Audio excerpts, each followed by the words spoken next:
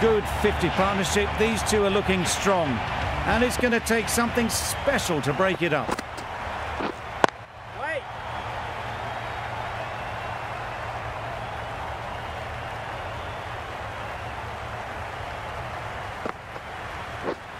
Yes.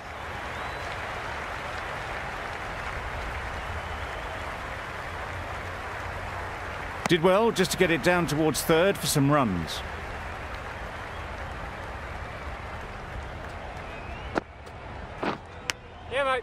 Edged. Unplayable.